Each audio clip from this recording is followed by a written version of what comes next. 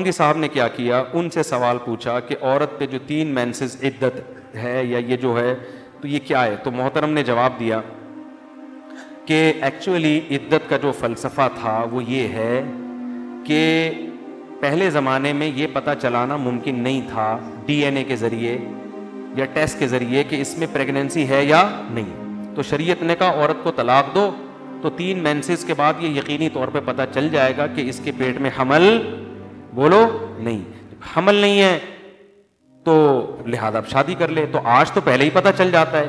लिहाजा शादी के बाद, तलाक के बाद, अगर टेस्ट से पता चल गया कि इसकी प्रेगनेंसी नहीं है, अगले दिन शादी कर ले। एक्चुअली करके बेड़ा गरक कर दिया कि नहीं कर दिया? लेकिन आप फिका में जाओगे, तमाम फुका कहते हैं, भाई, हमल हो या ना हो, हमल होना अगर यकीनी है तो जब तक बच्चा पैदा नहीं हो जाता। और अगर हमल नहीं है तो तीन मेंसेस, चाहे सौ फ़ीसद यकीन हो। गामदी साहब की बात इतनी गलत है, दो और दो चार की तरह, कि एक दफ़ा मेंसिस से पता चल जाता है कि औरत के हमल नहीं है। फिर भी शरीयत ने कितने? ये यहीं से सारा फलसफा गलत हो गया है। फिर शौहर जब मर जाता है तो चार महीने, दस दिन।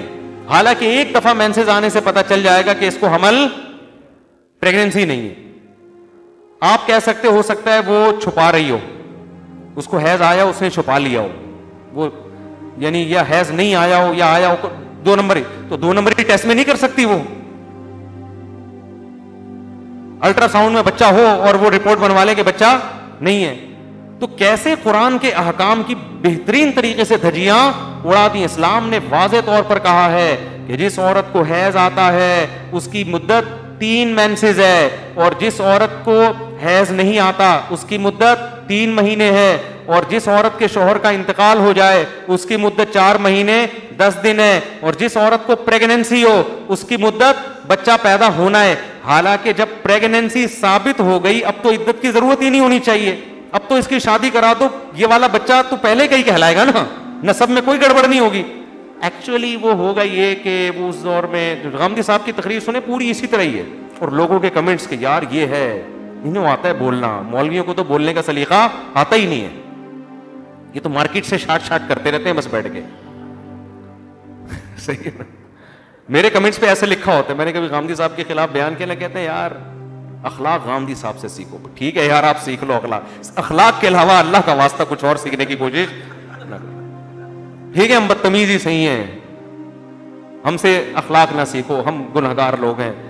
मसले खुदा के लिए किसी मुफ्ती से पूछ लिया करो आलिम से पूछ लिया।